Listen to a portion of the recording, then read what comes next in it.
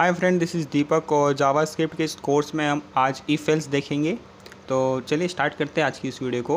तो it evaluate the content whether condition is true और false ई fails क्या check करता है? आपकी कंडीशन को चेक करता है कोड के अंदर कि आप जो कोड लिख रहे हो, उसमें जो कंडीशन आप लगा रहे हो, वो ट्रू है या फॉल्स है। अगर ट्रू है तो ये एग्जीक्यूट होगा। अगर फॉल्स है तो ये वाला एग्जीक्यूट होगा।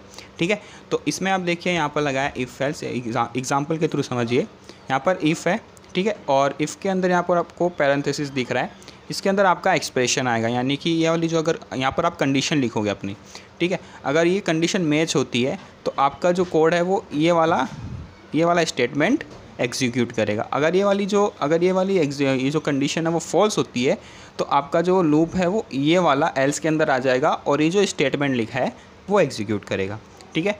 इसका फ्लो चार्ट देखिए आप। यहाँ पर समझ समझ लीजिए, यहाँ पर कंडीशन लिखी है, ठीक है? अगर अगर इफ़ के अंदर जो कंडीशन है वो ट्रू हो जाती है, देखिए यहाँ पर, अगर कंडीशन ट्रू होती है इफ़ के अंदर जो लिखी है तो उसके बाद आपका ये जो प्रोग्राम वो एग्जीक्यूट हो जाएगा।